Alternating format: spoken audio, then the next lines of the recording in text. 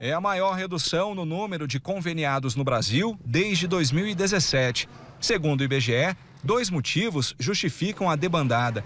O aumento do desemprego, que chegou a 13,6% da população, e a queda na renda dos brasileiros. O resultado disso tudo é que nós temos hoje 30% das pessoas que responderam à pesquisa afirmando que tiveram algum tipo de redução da renda. Segundo a Agência Nacional de Saúde Suplementar, 327 mil brasileiros perderam o plano de saúde entre março e junho desse ano.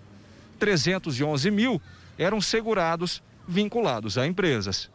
Há um ano, o Antônio deixou a empresa em que trabalhava há 17 anos para se dedicar a outras duas atividades, que até então tratava como hobby a fabricação de salames caseiros e pequenos reparos domésticos, o marido de aluguel.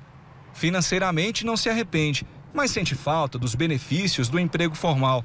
O plano de saúde, por exemplo, por enquanto vai ficar sem. Não pretendo ter isso como despesa. Tá? Então, o meu seguro hoje, eu não, porque eu acho que é uma despesa muito cara em cima daquilo que de pagar uma, uma, um problema que você ainda não tem.